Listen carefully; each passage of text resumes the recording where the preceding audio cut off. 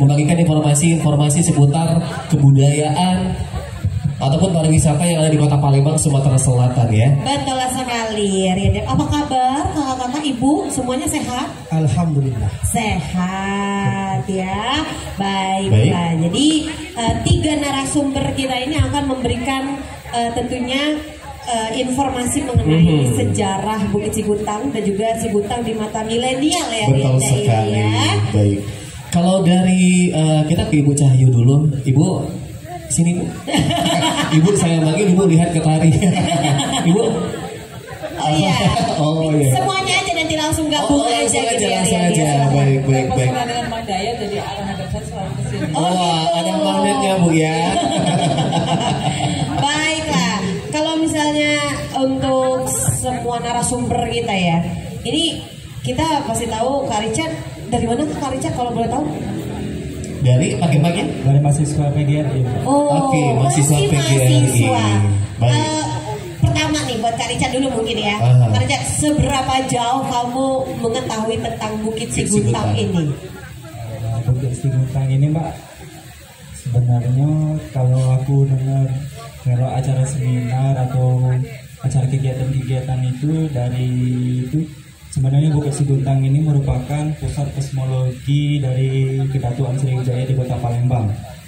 Nah, bukit ini juga dari memiliki ketinggian 27 meter dari permukaan laut dan merupakan pusat keagamaan umat Buddha. Dan bukit ini juga memiliki sejarah makam-makam tokoh yang dikaitkan yang dikeramatkan juga mulai dari masa klasik Hindu Buddha maupun dari Kesultanan Palembang Darussalam, Mbak. Wow, Oke, luar biasa. itu di di mata mahasiswa ya. Ini bentar, di otaknya ada Wikipedia macam Udah tahu Iya sejarahnya gitu benar, ya. luar biasa sekali ya. Oke, kalau dari Ibu Cahyo ini Bu, eh, pastinya ini dari Dinas Kebudayaan Pariwisata eh, Kota Palembang ya, Yes, kalau menurut ibu Provinsi Sumatera provinsi Selatan, Sumatera Provinsi Selatan, Sumatera, sorry. Kalau misalnya menurut ibu Bukit Siguntang tuh apa sih bu? Ya potensinya apa saja Potensinya nih Bu yang bisa iya. dikembangkan? Oke, kalau tadi Bang Richard, nih, Kak Richard ya, luar Iya. biasa sudah menjelaskan dengan pas apa itu Bukit Siguntang. Betul, betul Bu ya tadi. Ya, jadi kita tahu bahwa Sumatera Selatan itu identik dengan Sriwijaya. Aha. Dan di mana Sriwijaya? Orang selalu bertanya. Salah satu tinggalan Sriwijaya adalah Bukit Siguntang, begitu ya. Jadi kalau eh, Siguntang itu bisa dilihat dari sejarahnya itu berkaitan dengan masa Sriwijaya. Tapi kalau dilihat dari sejarah Melayu bisa juga. Dari pagi kayaknya atau dari kemarin kita selalu melihat bagaimana Sang Sapurba itu turun di Bukit Siguntang. Itu juga bagian penting dari Bukit Siguntang. Dan narasi-narasi itu sebenarnya yang menjadi kekuatan bagi Bukit Siguntang. Bagaimana Bukit Siguntang ini bisa menarik wisatawan, menarik orang-orang untuk datang ke Palembang, ke Sumatera Selatan, melihat dengan dekat apa itu Bukit Siguntang. Baik Bukit Siguntang di masa Sriwijaya maupun Bukit Siguntang dalam cerita sejarah Melayu. Karena kita tahu bahwa orang-orang di luar sana ya, khususnya orang-orang Melayu, Malaka dan sekitarnya, dia tidak puas ke Palembang kalau belum menginjakkan kaki di Bukit Siguntang. Kenapa? Karena mereka merasa bahwa Bukit Siguntang inilah turunnya raja-raja mereka, begitu ya. Jadi itu menurut sejarah Melayu. Tapi kalau menurut sejarah sejarah Sriwijaya, sejarah beneran. Maaf karena ada ada ada ring waktu antara sejarah eh, sejarah yang kita pelajari dengan sejarah yang ditulis oleh, oleh eh, tem apa ya dari dari Mala- Malaysia ya Sri Abdul Lanang ya Eh, ya kitab Sulalatus Salatin itu bercerita tentang sejarah Melayu dan ada ring waktu begitu. Jadi kalau kita bicara tentang si Buntang tidak lepas dari tinggalan Sriwijaya. Kenapa? Karena kita melihat ada beberapa artefak-artefak yang ditemukan di Sriwijaya. Seperti ada arca terbesar yang ditemukan se Asia Tenggara. Karena tingginya hampir 4 meter. Itu ditemukan di Bukit Siguntang jadi kalau eh, kawan-kawan semua mau melihat sekarang dipamerkan di Museum Sriwijaya. Itu ada di TPKS ya di sana Karanganyar. Itu real ditemukan di sini. Ada juga prasasti Bukit Siguntang. Itu juga ditemukan di Bukit Siguntang.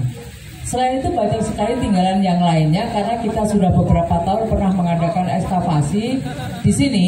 Sebenarnya tahun 78 Snitcher sudah melakukan ekskavasi atau penelitian, tapi kita juga melakukan penelitian melalui Dinas Budaya dan Pariwisata Provinsi Sumatera Selatan dan bekerja sama dengan Balai Arkeologi. Di situ ditemukan struktur-struktur stupa ya yang menandakan bahwa itu adalah candi tinggalan Sriwijaya dan juga keramik ya guci. Guci dan juga manik-manik. Itu dari prediksi waktu bahwa guci itu memang tinggalan masa dinasti Tang ya dan setelah disatukan bentuknya guci. Kita tahu pada masa itu bahwa pendeta Buddha dia akan selalu membawa guci. Satu memang untuk penyucian dia satu memang untuk eh, cuci tangan kaki begitu. Dan itu ditemukan di sini.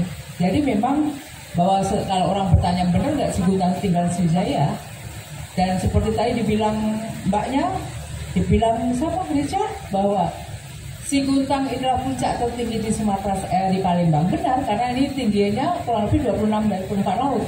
Dan biasanya situs keagamaan Buddha itu akan berada di bukit di titik paling tinggi begitu ya.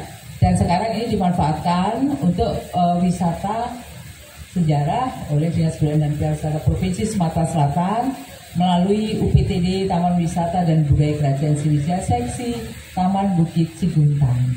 Sorry ya kalau terlalu panjang ya. Ya, Bu, Tapi- aman semuanya. Tapi sebenarnya sejarahnya ini eh, dari tahun kapan Bu sehingga namanya ini Bukit Siguntang. Ini Bukit Siguntang. Kenapa namanya Siguntang gitu ya? Begitu ya. Kenapa namanya? Tadi saya udah dengar-dengar sedikit Bang Daya tuh nyebut Iya. guntang-guntang. Iya. Ya. nah. ya memang begitu adanya. Karena Oh. bukit ini dulu bukit paling tinggi nih. Dulu belum ada jalan. Jadi memang Ah. dikelilingi oleh sungai. Karena seperti ada benda yang terguntang-guntang di sungai, itulah makanya disebut Bukit Siguntang. Oh, Karena gitu. kanan kirinya adalah sungai dulu dikelilingi sungai. Tapi kalau eh, waktu terus berjalan mengalami pendangkalan-pendangkalan dan akhirnya sungai pun hilang. Kalau sebenarnya ada sungai, sungai Lambidaro juga memang ke sini gitu kan. Tapi akhirnya kan tidak kelihatan sungai itu. Sekarang sudah jadi jalan. Di Iya. sana udah jalan. Itu harusnya sungai. Oh. Itulah kenapa eh, disebutnya dengan Bukit Siguntang. Oleh Lambang Daya ini. Aku pikir tadi main-main aja ya. Saya benar-benar guntang iya. luar biasa sekali. Tapi kalau dari pemerintah Provinsi Sumatera Selatan apakah mendukung Bu untuk eh, promosinya seperti apa dukungan mungkin yang dilakukan oleh pemerintah Bu untuk Bukit Siguntang ini? Ya kita harus mendukung ya karena ini ini eh, suatu potensi yang luar biasa begitu ya. Kalau dulu mungkin eh, masyarakat melihatnya hanya seperti hutan gitu ya. Ya, Sekarang- serem, Bu, ya, ya. Ya serem orang mau masuk takut, Takut, gitu ya. ya. Tapi sekarang sudah mulai di apa ya dipercantik gitu ya dengan berbagai eh, bangunan dan fasilitas-fasilitas tambahan begitu. Jadi masyarakat sekitar juga tidak takut lagi begitu. Meskipun tetap ada zona yang memang itu sakral begitu kan, benar. karena ada puncaknya itu biasanya ada makam-makam itu biasanya orang akan berkunjung ke sana memang ya minat khusus nih Iya. mungkin dia mau wisata sejarah apa ziarah ya. Ziarah. Tapi kalau yang biasanya anak-anak muda ya mungkin hanya melihat berkeliling begitu dan Hmm. sekarang juga ada fasilitas yang lainnya kayak ada kedai kopi gitu ya. Jadi Hmm. mereka bisa nongki-nongki cantik di sini begitu. Itu- Jadi itu salah satu fasilitas yang dikembangkan untuk menarik bagaimana anak-anak muda pun Hmm. Masuk melihat si Guntang Iya. tidak hanya melakukan atau jalan-jalan dalam hal-hal negatif Yes. tapi juga bisa belajar. Kenapa? Karena di sini juga dilengkapi dengan galeri. Galeri yang dipamerkan itu berisi tentang tinggalan-tinggalan yang ditemukan di Bukit Siguntang juga caption-caption yang menarasikan bagaimana si Guntang ini dulunya begitu jadi anak-anak muda mungkin teman-teman Kak Richard ini bisa ke sini ya bisa sambil belajar gitu sambil jalan-jalan dan belajar begitu Oke, luar biasa sekali ya. Itu ada beberapa upaya yang telah dilakukan ya Ibu ya untuk menarik eh, untuk masyarakat apalagi yang generasi muda untuk datang ke Bukit Siguntang. Mungkin mungkin dari Richard sama Kak Dayat eh, atau Kak Fikrin ya.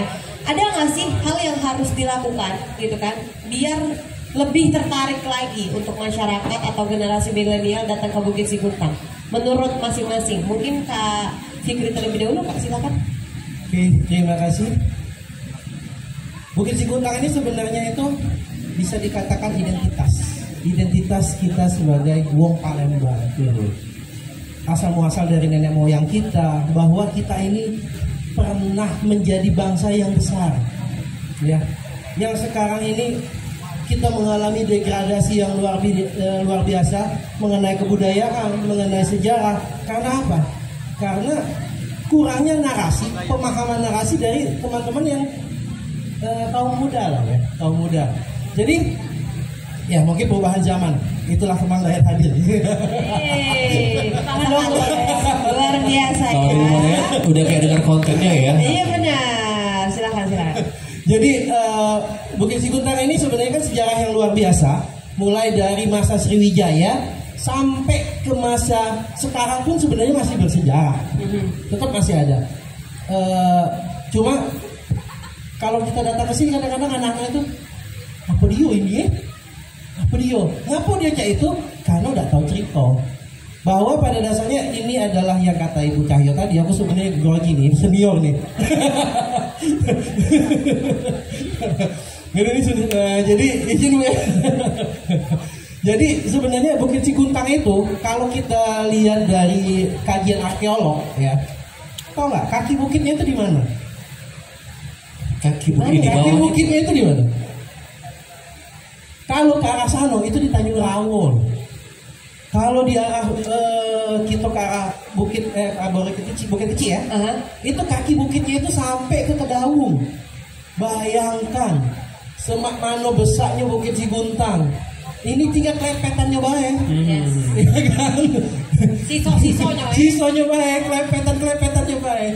Dan di foto-foto lukisan di masa-masa zaman-zaman kolonial tahun 1400 eh, 1600-an itu ada pernah terlihat mungkin kalau yang pernah lihat ada kapal kapal kolonial di persimpangan Sungsang kelihatan bukit. Itu banyak yang ngomong ini bukan di Palembang ini di Palembang. Karena pada masa itu sampai Sungsang pun terjengok bukit Siguntang itu saking tingginya saking tingginya dan tadi kata ibu dia itu guntang-guntang jadi kalau kalau mungkin kita dari Lampung nak ke Palembang naik kapal terjengok bukit Lampung eh, dari Jakarta ya, oh lah dekat Lampung. Nah, kayak itulah zaman dingin. Oh. Nah, lah dekat Palembang. Padahal masih di laut nih, nak masuk lagi masih berkilo-kilo nih ke dalam kota, ibu kota nih. Nah, dan si, si kok lagi nih, eh mulai diingetin sejarawan, budayawan sepertinya lebih banyak yang sepakat menyebut dengan nama Seguntang. Yes. Seguntang, bukan si. Siguntang. Si itu ada kesan konotasi agak negatifnya, Uh-huh. tapi lebih banyak nyebutin seguntang. Jadi ini kebiasaan gitu. Kadang-kadang masuk juga seguntang, seguntang. Karena lidah-lidah kita. Nah, jadi eh, lebih eh, kita mulai biasa ke namanya seguntang tadi. Nah, di sini sampai lagi panjangan. Gak apa-apa, gak apa-apa. Terus gue. Karena ini edukasi. Jadi Iya benar. Kan edukasi. teman-teman ini pada tahu nih. Menoce lupo. Jadi kita juga memberikan informasi dong. Iya. Iya, iya, iya, iya, Bukan iya. akar busuk ya gitu sih. Silakan silakan. Iya, jadi Bukit Siguntang ini saking tingginya itu berapa abad yang lalu saking tinggi itu kejingoan. Dan setiap tahun karena sudah hutan menghilang, jadi banyak pemukiman. Setiap tahun Bukit Siguntang ini akan turun 2 cm. 2 cm diakibatkan karena hujan. Nah, kakek kamu cek lah. Kalau hari hujan kamu cokok lah pinggir-pinggir sini. Banyak tanah-tanah abang. Nah, itulah yang buat makin lama Bukit Siguntang makin kecil. Lama-lama habis, tinggal ujungnya, Bang. nah, Tinggal puncaknya, Bang, ya. Iya, Oke. itu makam tuh lama-lama habis, makan Iya. betul. Hati-hati. Kayak gitu.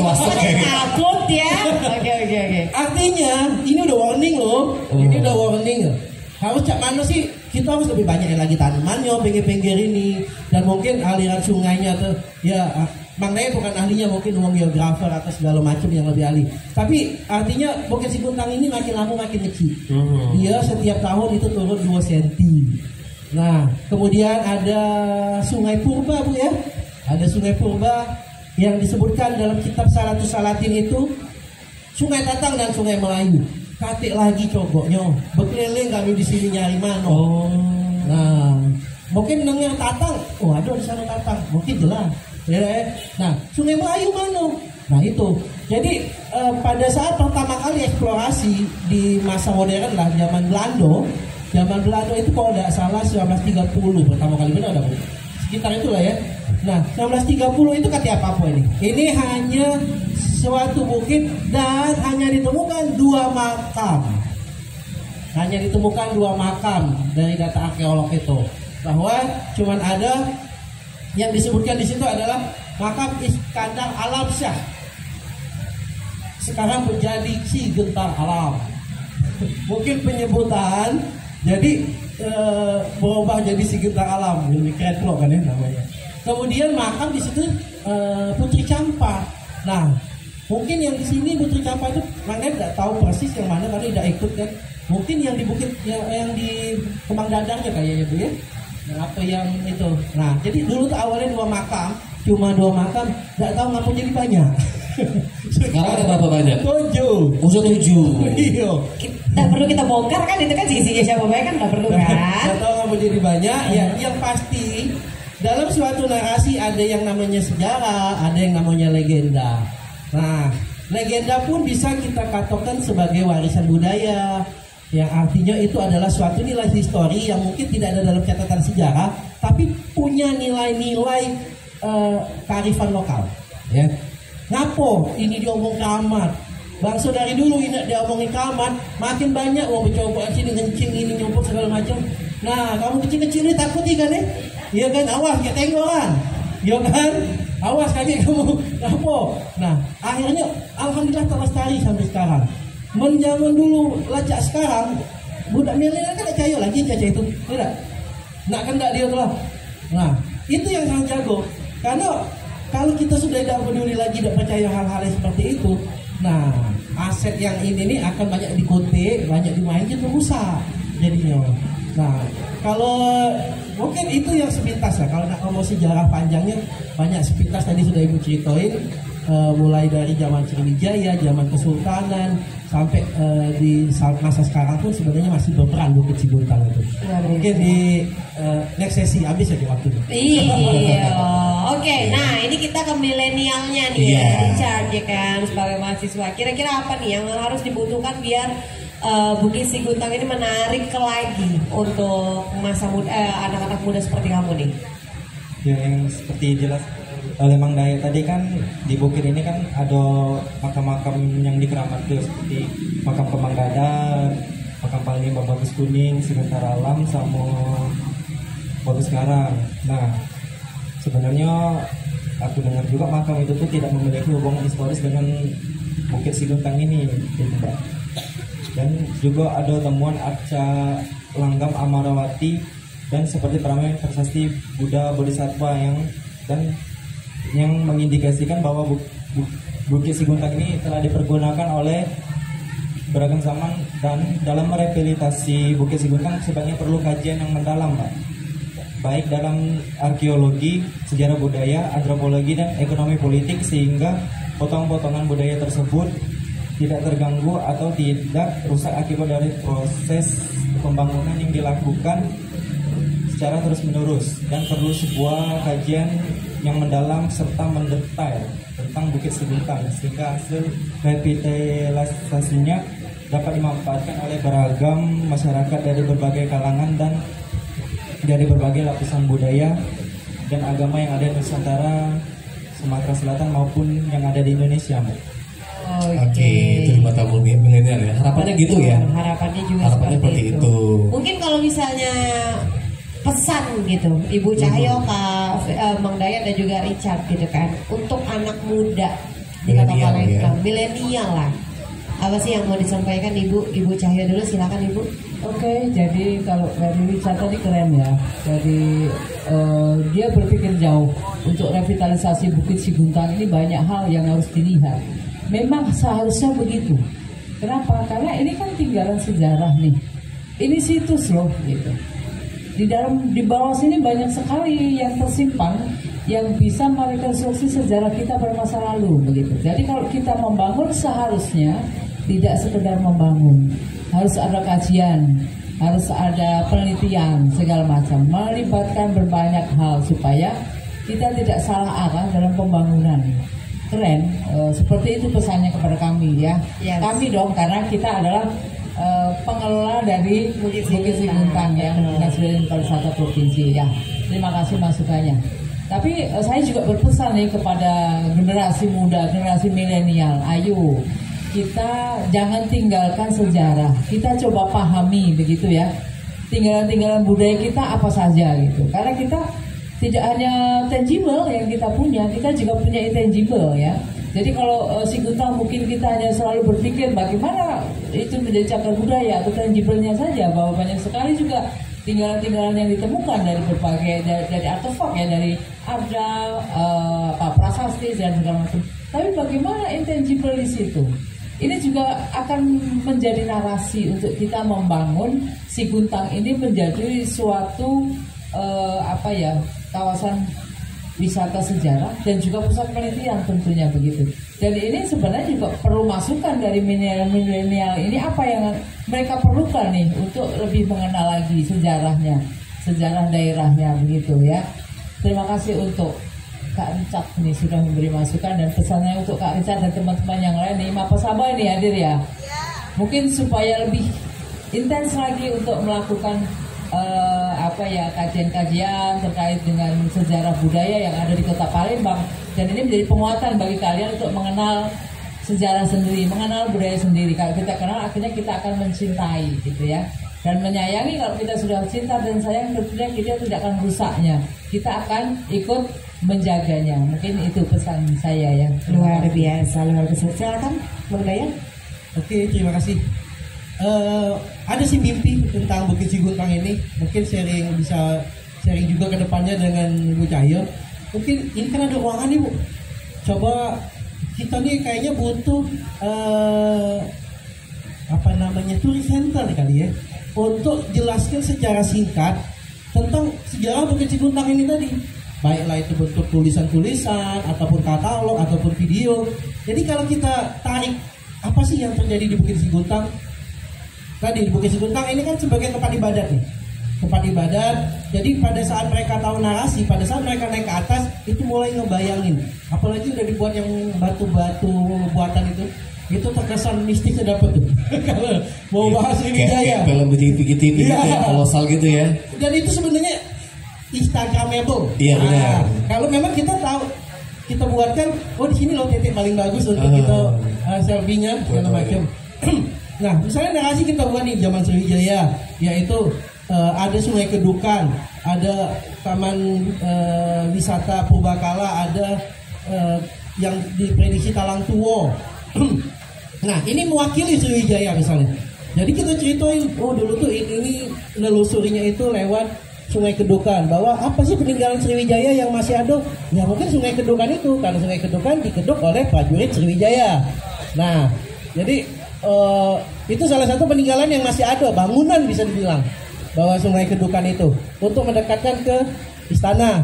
Terus dari istana nah ke sini kayak mana? Ada lagi lewat sungainya. Nah, mungkin itu kita sampaikan dengan eh, film misalnya Bu ya, dengan film kita putari di Tourist Center.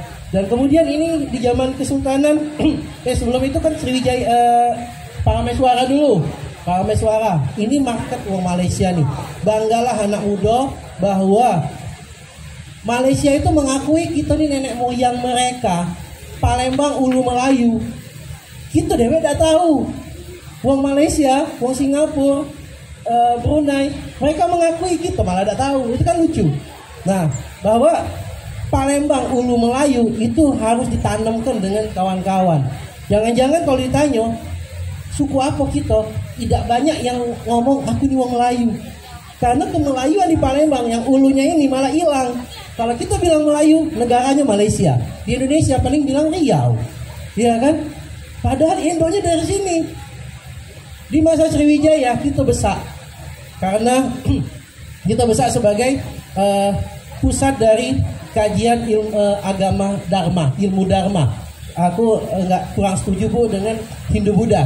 Karena sebenarnya yang tercatat itu adalah agama Dharma. Kita nggak tahu sebenarnya Dharma itu apa. Dan kita jadi pusat eh, Sanskerta belajar. Di masa Kesultanan Palembang itu sebagai pusat sastra. Kok di zaman modern Palembang tidak jadi pusat apa-apa? Ini adalah kesalahan siapa? Anak mudanya. Anak mudanya yang tidak ada eh, mengkaji ke belakang. Kita lebih mengagumi pakai apa yang baju-baju apa yang cak ubi-ubi, wibu. Baju-bajunya saya lamun segala macam. Aku diundang kemarin males gitu. Kenapa dah kita bikin sih eh, yang yang Melayu punya gitu? Aku ini Melayu. Melayu ini punya sejarah panjang dan Melayu ini perlu diselamatkan. Kita ini tidak besar Melayu ini. Apalagi kita melihat di tahun eh, 3 Maret 19 eh, 46 pembantaian Sultan-Sultan Melayu Nusantara tidak tercatat dalam sejarah. Itu terjadi. Kenapa? Ini kita ini Melayu ini kalah gitu loh. Kita harus angkat kemelayuan kita ini. Ini ulu Melayu. Kita undang kawan-kawan kita Melayu Malaysia itu saudara kita.